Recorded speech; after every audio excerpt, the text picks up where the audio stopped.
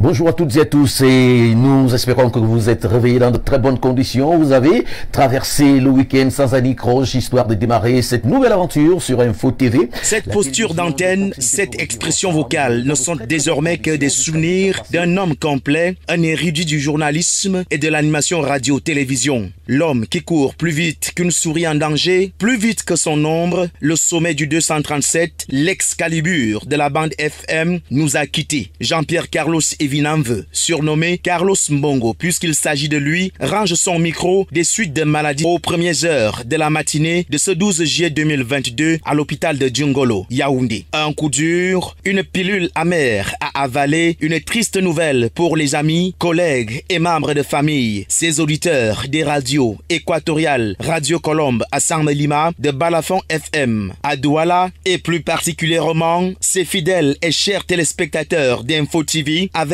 la matinale et la plus regardée, l'émission de détente, à savoir Retroviseur. Bonsoir à tous, c'est avec beaucoup de plaisir que nous vous retrouvons ce dimanche ce soir, comme tous les dimanches d'ailleurs, entre 19h, 19h passé de 52 minutes, dans le cadre de notre rendez-vous du dimanche sur Info TV, la télévision de proximité pour le vivre ensemble. Il s'agit bien évidemment de votre programme culte Retroviseur, cette émission qui nous permet tous ensemble de revivre notre jeunesse comme c'était hier à travers des tubes nostalgiques, des tubes des années 60, 70, 80. Né le 26 octobre 1980 en Simalenienvac par Sam Lima, l'homme doté d'une élégance de mannequin et à la voix suave fait ses premiers pas dans le showbiz aux côtés du regretté Cotebasse comme danseur.